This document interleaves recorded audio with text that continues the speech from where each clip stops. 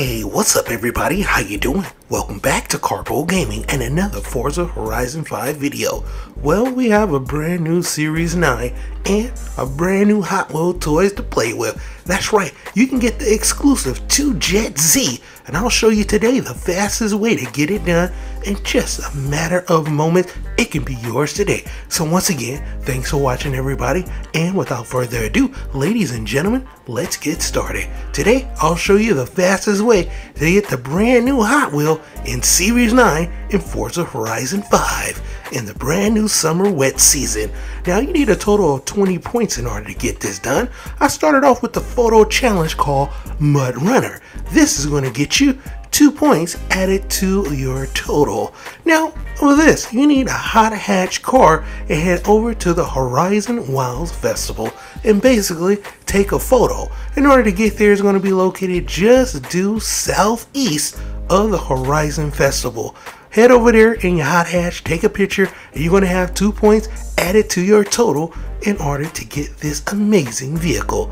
There you have it, two points just like that. Now, of course, we're going to need some more points. We're going to head over to the trial. Now, the trial is going to be a little bit of co op fun and it's going to get you a total of 10 points. So, after we finish this, we're going to have a total of 12 points. And it's going to be pretty simple. You and your squad are going to get together and have some fun in a total of three different challenges. So, after you finish doing all three of those challenges, you're going to be done with this trial. And just like that, you're going to have yourself a brand new 1970 Corvette ZR1. And of course, you're going to have a total of now 12 points added to your total.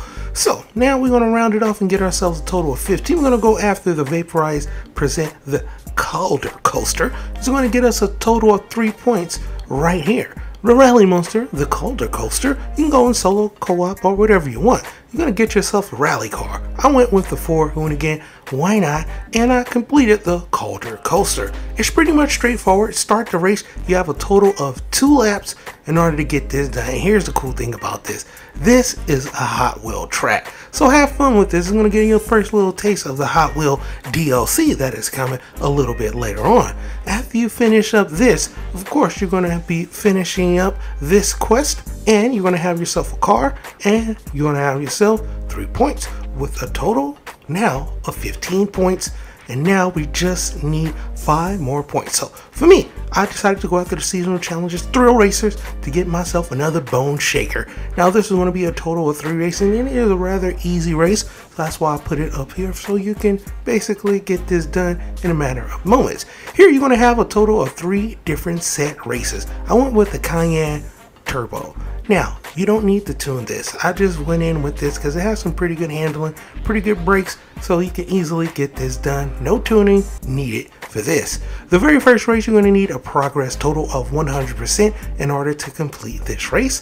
After you do that, you're headed down to the second race. Now, if you are a little confused where these races are, this is what I want you to do because it can be a little cluttered on the map. Deselect everything, then just select the Horizon Seasonal Events and here you're going to have one event right at the top and one right below you at the airstrip. So I decided to go to the airfield and continue the event for the reward, the Bone Shaker.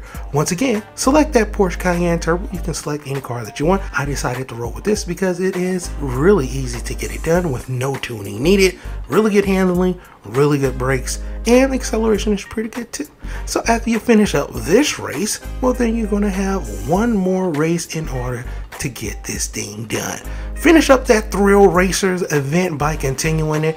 Of course, select that Porsche Cayenne Turbo if you want to get it done really easy and start that race and complete that race and boom, just like that, you are done with this. You're going to get yourself a nice bone shaker Hot Wheel, but you're going to have yourself a total of 20 points. And now the 2 Jet Z is yours. Head over to the Hot Wheels and select that bad boy, get into it, and have some fun. You just completed the coolest challenge in Series 9 for the brand new Hot Wheel car.